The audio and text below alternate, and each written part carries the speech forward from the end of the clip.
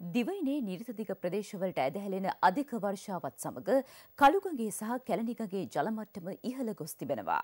ආපදා කළමනාකරන මධ්‍යස්ථානයේ සහකාරාධ්‍යක්ෂ ප්‍රදීප් කොඩිප්පිලි මහතා සඳහන් කළේ මේ වන විට ලක්ෂපාන කැනියොන් සහ ඉහළ කොද්මලේ ජලාශවල වාන්දුරට විවෘත කර ඇති බවයි.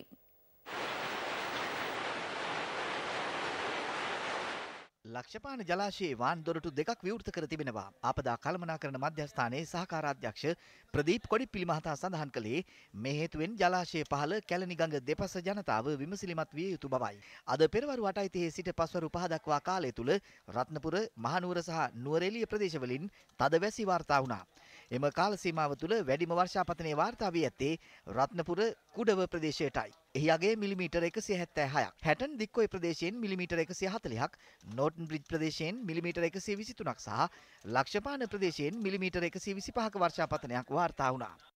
මධ්‍යම කඳුකරේ බටහිර බෑවුම් ප්‍රදේශවලට ඇදහැලෙන අධික වර්ෂාව හේතුවෙන් හැටන් කොටගල ප්‍රදේශයේ නිවාස කිහිපයක් ජලයෙන් යට වුණා. අප වාර්තාකරු පැවසුවේ හැටන් කොටගල ප්‍රදේශයේ පහත් බිම් රැසක් ජලයෙන් යට වී ඇති බවයි. රත්නපුර සහ බලංගොඩ ප්‍රාදේශීය ලේකම් කොට්ටාස සඳහා නායම් අනතුරු හැඟවීමේ නිවේදනද නිකුත් කර තිබෙනවා. ජාතික ගොඩනැගිලි පර්යේෂණ සංවිධානයේ නායම් අංශයේ ජ්‍යෙෂ්ඨ විද්‍යාඥ ආචාර්ය වසන්ත සේනාධීර මහතා සඳහන් කළේ රත්නපුර වේවැල්වත්ත මාර්ගය සඳහාද අවදානම් නිවේදන නිකුත් කර ඇති බවයි. මේ අතර අධික වර්ෂාවත් සමග අද දහවල් කළුගඟේ ජල මට්ටම සැලකිලිමත් විය යුතු මට්ටම ඉක්මවා ගොස් තිබෙනවා. වාරි මාර්ග දෙපාර්තමේන්තුව සඳහන් කළේ අද පස්වරු 3 වන විට කළුගඟේ ජල මට්ටම මුවගම ප්‍රදේශයෙන් මීටර 6ක් ලෙස සටහන් වූ බවයි.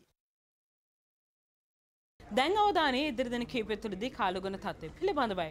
අද පස්වරුවේ අවවාදාත්මක නිවේදනයක් නිකුත් කරමින් කාලගුණ දෙපාර්තමේන්තුව පවසන්නේ දිවයිනේ දැනට පවතින මේ තද වැසි සස්සුලන් තත්ත්වය මේ මාස 20 වෙනිදා දක්වා පැවතිය හැකි බවටයි. විශේෂයෙන්ම බස්නාහිර සහ සබග්‍රාණ පළාත් වලට වගේම ගාල්ල මාතර සහ කළුතර යන දිස්ත්‍රික්ක වලට මිලිමීටර් 150ක්ම වූ තද වැසි අපේක්ෂා කළ හැකි.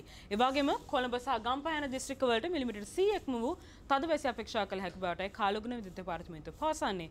දිවෙන සුළං තත්ත්වය දෙස බැලුවොත් විශේෂයෙන්ම දිවෙන හරහා පැයට කිලෝමීටර් 60ක පමණ තද සුළං අපේක්ෂා කළ හැකි. මුහුදු රළ ස්වභාවයක් පෙන්눔 කරයි විශේෂයෙන්ම මන්නාරම සිට ගාල සහ හම්බන්තොට හරහා පොතුවිල් දක්වා ඇති මුහුදු තීරයේ තද සුළං අපේක්ෂා කළ හැකි.